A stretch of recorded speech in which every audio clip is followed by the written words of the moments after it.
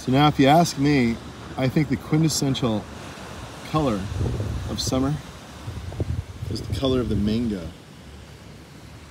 There shouldn't even be like, there should be just a color designated called mango.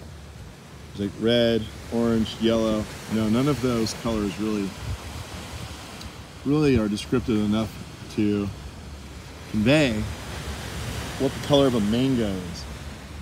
Uh, so there you go. There's the color of summer. We're just gonna make a new color from here on out. It's gonna be called mango. It's going to be that color right there. And that color. So, but of course some mangoes have different coloration. And it looks like the sugarloaf has a, a lighter color. See here?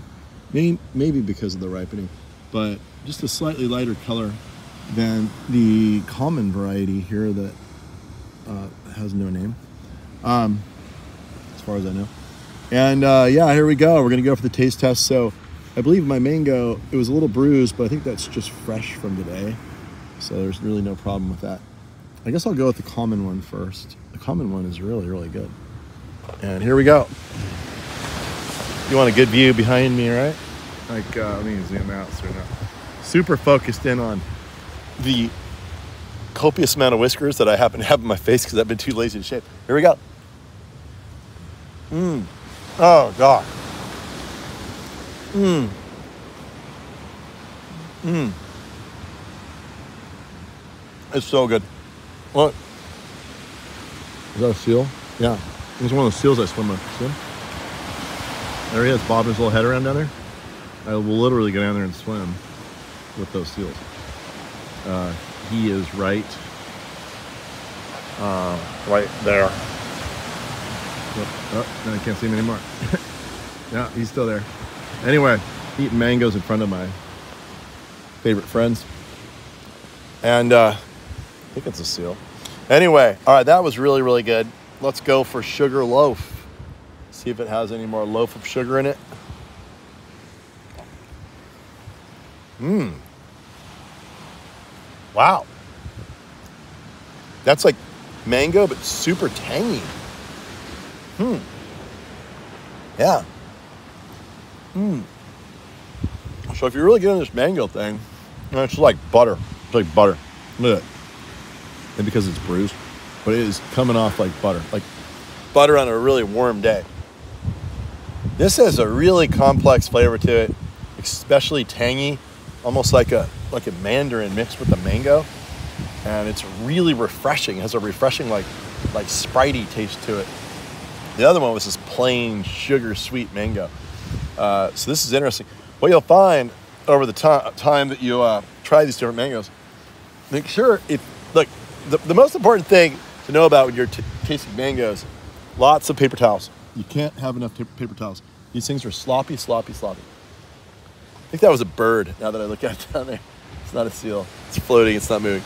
Uh, anyway, yeah. So you have lots of paper towels.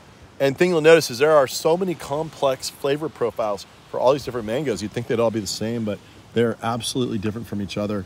And uh, people in Florida have a huge mango addiction over there, and they know they get all these varieties, and we don't in California, not very often. So we do, it's really prized to get them.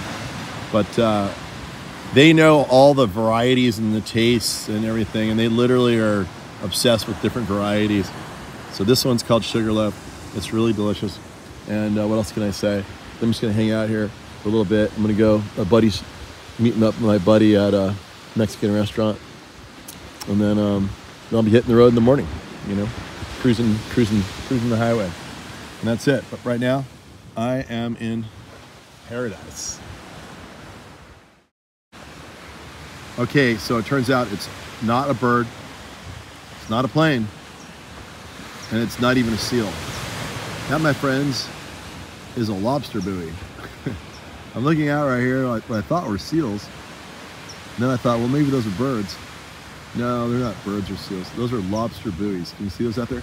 They set these lobster traps out on the reef, and then uh, they mark them with their buoys, and they come back the next day.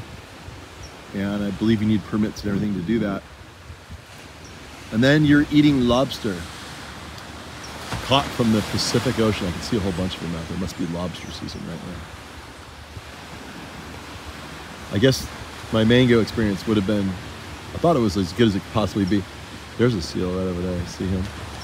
He's right over there somewhere. Uh, but it would have been better if I had some lobster, so maybe I'll have to figure out how to do that. Over and out.